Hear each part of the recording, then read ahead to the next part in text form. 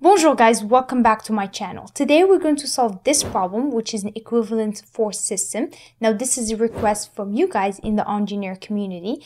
And remember guys, don't forget to comment on which video you would like to see next. But first, let's solve this problem. Oh yeah, for those of you guys who don't know me already, my name is Kenza and I've helped so many students pass the FE exam with my online prep courses and free videos. Now, let's take a look at this problem. So we have a crate that has a mass of 550 pounds and we want to find the tension in cable AB. So what we're going to do here is I'm going to give you guys hints on how to solve this problem and then you're going to pause it and attempt it because a lot of times we think we know how to solve a problem until we try it. And if you make a mistake, it's okay because you're going to learn from your mistake and hopefully you won't make the same mistake in your FE exam or in your statics exam. Okay, so the first thing you guys need to do here is draw the free body diagram and take tension AC and AB and break them into two components, X and Y. So that way you can set up your equilibrium equation, okay? Your equilibrium equation, every term has to have the units of force. Now here you were giving mass, okay? So you gotta be careful. You can't really use mass in the force equation.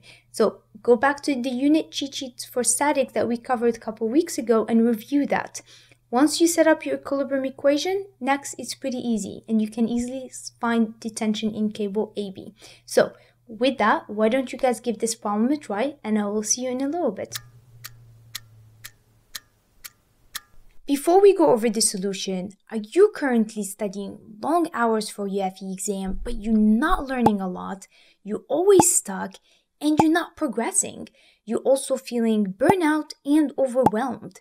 And I get it. Studying for the FE exam can be challenging, but what if I told you you can pass your FE exam in a better way? See, at enGENIEer, you study less, you learn more, and you pass the FE faster. Now, how do we do it? Well, I have done the work for you. I give you exactly what you need to pass the FE exam. I cover all the concepts that you should know, and I walk you through how to solve every single problem. Our students study only 15 hours a week and they pass the FE exam in about three months. And if you enroll today, you can become an EIT in three months. Now, our courses are right now on sale. So head to our website and save up to $200 off. Now, this sale is going to end on November on Tuesday, November 30th. So make sure that you guys enroll before the sale ends. Okay guys, so this is our free body diagram. Now the first thing we're going to do is break TAC into X and Y component and do the same thing with TAB.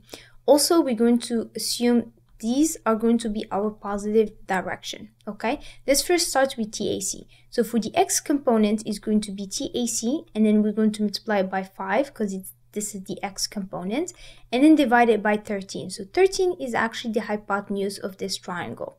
Now for y is going to be TAC, and then we're going to multiply it by 12 and then divide it by 13. Now note guys that both of these are positive because they're going the same direction as our positive assumption. Now let's take a look at TAB. So for TAB, this component or the x component is going to be minus. It's minus because it's going opposite of our sign convention. So we're going to have minus TAB and then here we're going to use cosine. So it's cosine, it's because it's the adjacent side. So cosine 35. Now for y component, it's going to be TAB. It's going to be positive because it's the same as our assumption. And then we're going to have sine. So it's sine because it's the opposite side. So it's going to be sine 35 degrees. Now, if you guys are not sure how I got sine, cosine, and 5 over 13 and so on. And if you guys need a little bit of review in terms of trigonometry, go ahead and comment trigonometry below and maybe I'll make a quick video reviewing trigonometry. Now, one thing we haven't discussed on the free body diagram is the weight. So here we're going to have minus the weight. Now it's minus because it's going opposite of our sign convention. Also note guys, in this problem, we were giving the mass of the crate to be 550 pounds. But we're going to need the weight for the equilibrium equation. So what we need to do is convert mass to weight. So let's do that together. So if you guys remember from the unit cheat sheets of statics, we said that the weight is equal to mg. But we also said that if we are using US units, we gotta make sure that we divide by GC, right? Each time we go from pound mass feet per second squared to pound force, we have to make sure that we use GC so that the units cancel nicely. So let's do that here. So we're going to have 550 pound. This is technically pound mass because that's the unit of mass. And then we're going to multiply it by G, which is 32.2 feet per second squared. And then we're going to divide it by 32.2.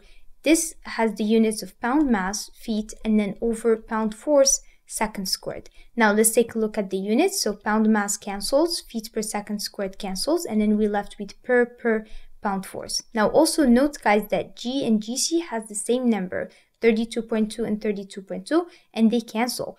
And so here what we have is the weight is the same as mass. Now remember, that's only the case when G is equal to 32.2, okay? And if you guys want, you can go back to the unit cheat for statics video and just review that because we did cover this more in depth, okay? So now the weight is just going to be 550 pounds force. Now let's set up our equilibrium equation. Now if you guys are enjoying this video, don't forget to like and subscribe to get more videos like this to help you with your FE preparation or your statics class. Okay, so first we're gonna start with the summation of the forces on the y equals to zero and we're going to assume going up to be positive. So the first thing we have is TAC times 12 over 13 and then plus TAB times sine 35 degrees and then we're going to have minus the weight, which is 550, equals to 0. Then what we can do is take this 550 to the other side, and what I'm going to do here is I'm not going to rewrite it. I'm just going to go ahead and delete it because it's easier for me. Now, note guys here that the 550 becomes positive because here it was negative. We took it to the other side. It became positive. So this is the first equation.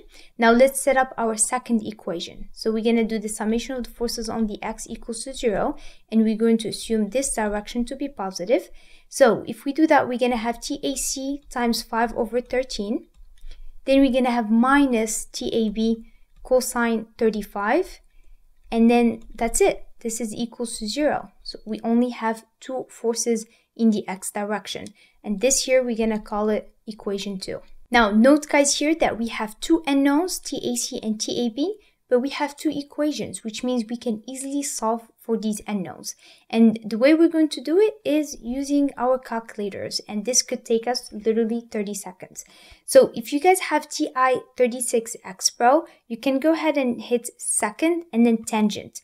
And then you're going to see 2 by 2 linear equation. Go ahead and press the first one, okay? Press enter. Then you're going to see the equation. So you have x plus and then space y equal and then you have the same thing again in the bottom. So before we plug in anything, the first thing we're going to do is set what's x and then what's y. So here we're going to let x to be TAC and then we're going to let y to be TAB. Okay, so you got to be careful when you plug in the calculator, meaning that you, whatever x is, you can't change it. So for, for example, the first equation, you have to make sure that you enter 12 over 13 for x. And the second equation, if you enter cosine 35, you will get the wrong answer. You gotta make sure that you stay consistent, okay? So you gotta have to make sure that you enter 5 over 13.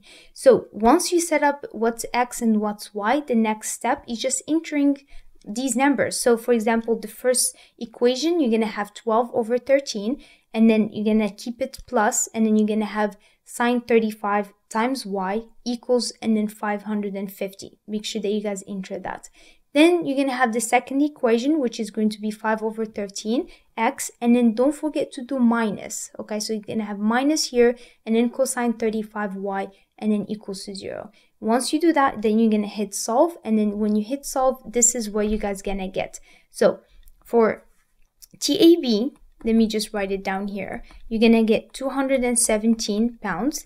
And then for TAC, you're to get 461 pounds. And if we take a look at the multiple choice, the answer is going to be C. Now let's talk about options for future videos. Now if you guys want to see more statics problems, go ahead and comment statics below. And if you guys want to see a video where I review trigonometry, go ahead and comment trigonometry below. Also, if you guys enjoyed this video, then you're going to love our courses where I solve so many problems and I cover a lot of concepts that will help you pass your FE exam. And if you just started studying for your FE exam and you're just not sure how to start, make sure that you check out this video right here where I dive in and I share the three tips on how to start studying today. Now, thank you guys for watching. I hope you guys have a great week and I will see you on the next video. À la prochaine. Oh,